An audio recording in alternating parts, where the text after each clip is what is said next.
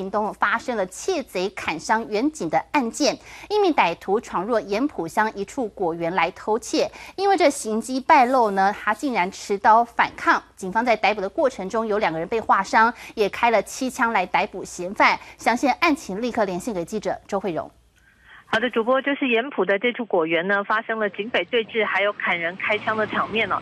歹徒呢是在这里偷窃果园里面的椰子，没有想到就被果农发现报警，那歹徒呢就拿着一把大约有二三十公分长的长刀抵抗，而且还不停的在现场挥舞当中哦。那现场远景呢担心他对一旁围观的民众不利，上前抓人却反而被砍伤。一起来听听看果农的说法。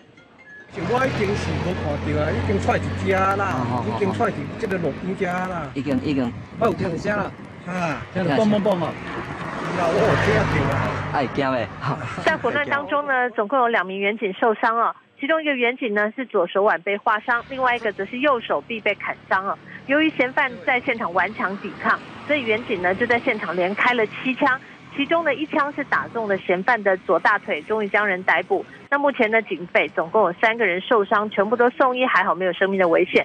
至于嫌犯呢，他是今年三十五岁。果农说呢，他经常拿着水果刀就来偷水果，但为什么采取这么激烈的手段来抵抗？他到目前为止一句话也没有说，警方是没有办法侦讯的，正在设法突破他的心防。以上是最新情况。